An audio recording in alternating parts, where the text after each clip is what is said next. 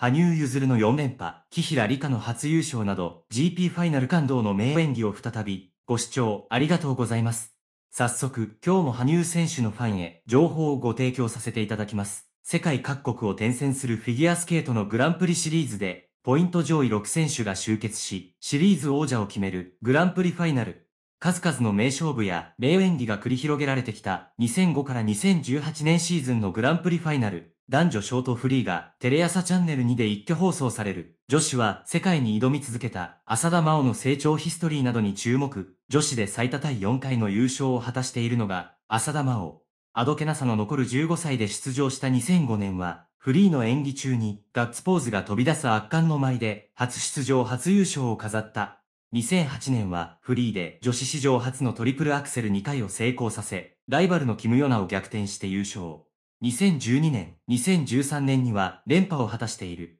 また、2009年大会で2位に入っている安藤美希の力強いジャンプや計3度の表彰台に上がっている鈴木明子の高速スピンも印象深い。そして昨年、ショートとフリーでトリプルアクセルを成功させる見事な演技で、初出場初優勝を決めた木平理香もフィギュア史にその名を刻んでいる4連覇の羽生結弦ら男子は日本勢が世界をリード。男子は2013から2016年に4連覇を達成している羽生結弦が最注目の存在。ソチ五輪金メダルへとつながった2013年の初優勝。中国大会での負傷アクシデントを乗り越えて優勝した2014年フリーで陰陽師の安倍の生命を演じ、9ルールでの世界最高得点330.43点を叩き出した2015年など見る者の心を揺さぶる演技で表彰台の頂点に立っている。その羽生を抑え、華麗かつ魅惑的なステップで201、2年に優勝した高橋大輔、時にコミカルで、時にパワフルな演技で、計4度の表彰台に上がっている、織田信成、安定感のあるジャンプで、2015、2016年は3位、2017、2018年は2位と4年連続でメダルを獲得している、宇野昌磨らの演技にも注目だ。世界の名選手も含め、興奮と感動の演技が蘇る。日本勢に立ちはだかってきた世界の名選手たちも見逃せない。